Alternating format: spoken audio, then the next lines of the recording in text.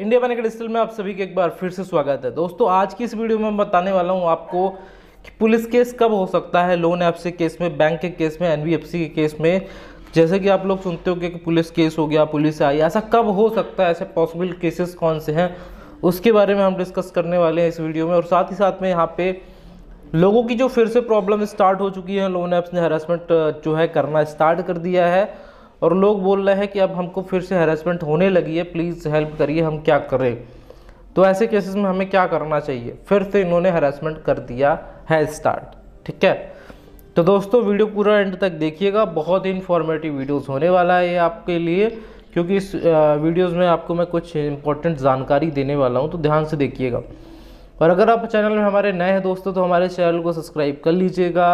उसके जो बगल में जो बेल आइकन का बटन है, उसे भी दबा लीजिएगा ताकि हम कोई भी वीडियो डालें, उसका नोटिफिकेशन आपके पास सबसे पहले हमारे चैनल के माध्यम से पहुँच जाए। तो दोस्तों, सबसे पहले बता देता हूँ, मैं लास्ट में बताऊँगा पुलिस केस कब होता है सबसे पहले मैं लोन ऐप्स के बारे में बात कर लेता हूँ। तो दोस्तों, जो अभी क्या हुआ था, दिसंबर के बाद, जनवरी फेबररी ये पूरी तरीके से शांत थे लोन ऐप्स वाले, ठीक है? लोन ऐप्स वाले बिल्कुल पूरे तरीके से शांत थे क्योंकि इन्वेस्टिगेशन चल रही थी आरबीआई की भी चल रही थी तेलंगाना पुलिस की भी चल रही थी ठीक है?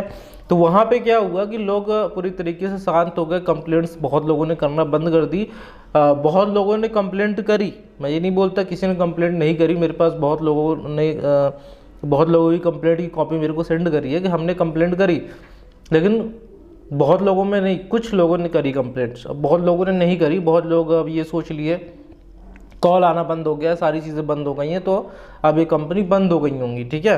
ये फर्जीवाड़ा इन्होंने बंद कर दिया होगा। बट फिर आप दो महीने बाद मतलब फेबररी मार्च या अप्रैल मार्च अप्रैल में फिर से कॉल आना स्टार्ट हो जाता है, फिर से वही काम स्टार्ट हो जाता है, ठीक है? और इस बार तो बड़ी कंपनियाँ आ जाती हैं, उनके बारे में ही बात करेंगे आज इस वीडियो में। तो ऐसे केसेस में क्या करना चाहिए? ऐसे केसेस में मैंने आपको पहले ही बताया था कि आप ये मत समझिए, अगर कॉल आना आपका बंद हो चुका है कि ये कंपनी बंद हो चुकी हैं। अगर आप ये समझ लेते हो तो फ्यूचर में गारंटी है कि आपको कॉल आएगा। ठीक है? बट जो फर्जी कंपनियाँ पूरी तरीके से फर्जी हैं, जिनको पूरी तरीके से उनकी एनबीएफसी ने नकार दिया है, सारी चीज़ें कर दी हैं, उनको बिल्कुल आप रिस्पॉन्ड ना करें। पहली बात तो ये है, बिल्कुल रिस्पॉन्ड ना करें। आपका टाइम वेस्ट होगा इस चीज़ में, ठीक है? और जो कंपनी रजिस्टर्ड है और ये काम कर रही है या फिर रजिस्टर्ड है अगर ये काम कर रही है तो इनको आपको एनबीएफसी से कंप्लेंट करना ही पड़ेगा। पहली चीज़ ये। कुछ, जो कंपनी है, कुछ कंपनी है, जैसे आप बोल रहे हैं आई क्रेडिट परेशान कर रही है तो आई क्रेडिट का क्या करें? तो आप आई क्रेडिट से एग्रीमेंट लेटर दो, जो भी एनबीएफसी इसमें शो हो रहा है, उस एनबीएफसी में आई क्रेडिट की आप कंप्लेंट्स फ़ाइल करो। ठीक है? जो भी ऐप्स जितने भी टाइम बाद कॉल करना। बहुत लोगों ने कंप्लेंट करी कुछ ऐप फर्जी ऐप्स की क्योंकि फर्जी ऐप्स के रिकवरी एजेंट्स कॉल कर रहे थे जिनके पास उनकी कॉन्टैक्ट लिस्ट या डिटेल्स चली गई थी कस्टमर्स की। तो वो कॉल करके सोच रहे थे कि किसी तरह उनकी वसूली हो जाए पेमेंट वसूली हो जाए और यहाँ पे आ, लोगों से वो अपने पर्सनल अकाउंट नंबर में पैसे मांग रहे थे। ठीक है? तो ऐसे केसेस बहुत लोग लालच के चक्कर में आके पाँच सौ रुपये दे दिए और एक हज़ार रुपये दे दिए और वो फंस गए। तो ये लालच आपको बिल्कुल भी नहीं दिखानी है। आपको पेमेंट जो करना है, वो ऐप्स के थ्रू ही पेमेंट करना है।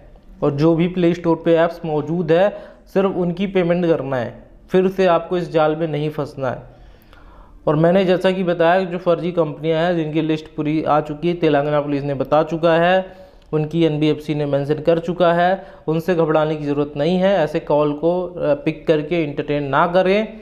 पुलिस ने भी यही कहा, साइबर पुलिस ने भी ट्विटर हैंडल में यही चीज़ कही है कि ऐसे कॉल्स को, ऐसे मैसेज को इंटरटेन ना करें। अगर आपको लग रहा है आपने सारी चीज़ें कर रखी हैं तो ठीक है?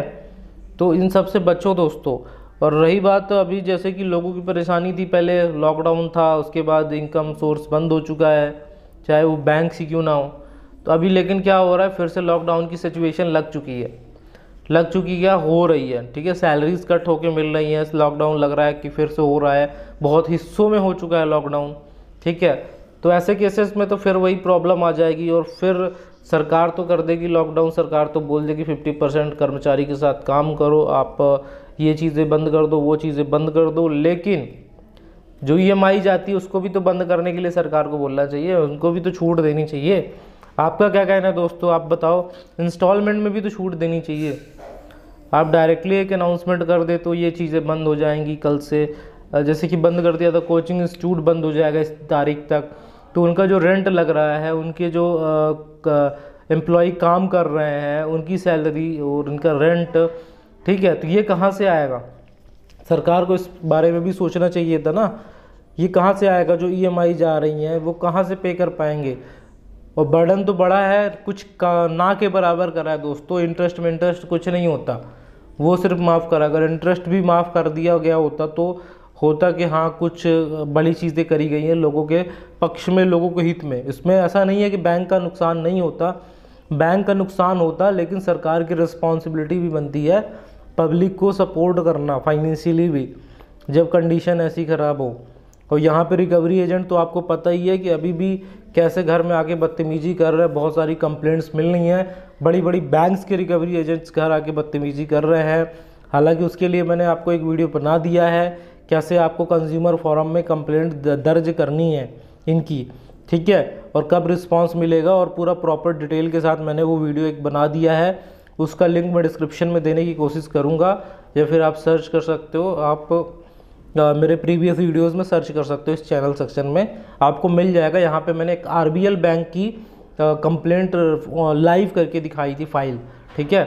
तो वो देख सकते हो। अब आते हैं सबसे इम्पोर्टेंट क्वेश्चन में, पुलिस केस कब हो सकता है दोस्तों? बहुत सारे हम वीडियोस देखते हैं, जैसे बोला जाता है कि रिकवरी एजेंट आए, पीट दो रिकवरी एजेंट को, ठीक है? तो दोस्तों ऐसा बिल्कुल भी नहीं करना है आपको, क्योंकि ये इलीगल है। ये पूरी तरीके से कानून मतलब बोल सकते हो कानून के विरुद्ध हो जाएगा। अगर कोई रिकवरी एजेंट आ रहा है, अगर आप वीडियो देख के एक्साइटेड हो कि हम इनकी पिटाई कर देंगे, ये कर देंगे, वो कर देंगे, उस केस में आप ये समझ लो कि आपके ऊपर ज़रूर कानूनी कार्रवाई होगी, आपको ज़रूर जेल हो सकती है, अगर आप ऐसा कोई काम करते हो तो। दूसरे तरीके से अपने राइट्स से बात करो उनसे मतलब आप अपने अधिकार जानो कि आपके अधिकार क्या है और रिकवरी एजेंट जो आ रहा है, उससे उसकी प्रॉपर डिटेल लो आईडी नंबर लो, ठीक है?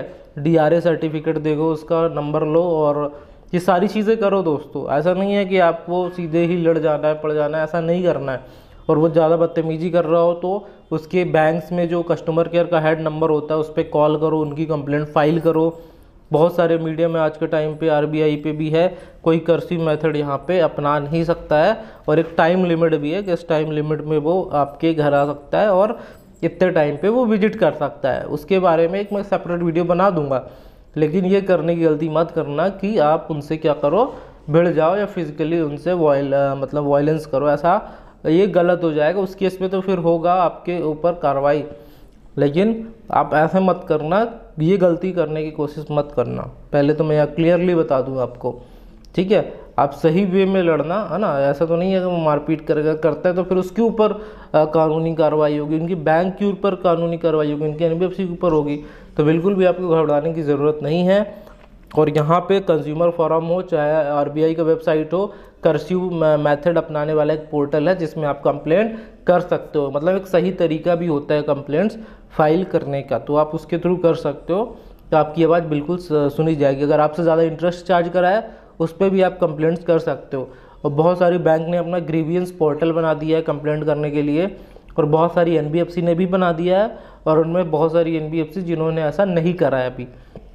तो वो भी आपको बहुत ही जल्दी देखने को यहाँ पे मिल जाएगा। ठीक है?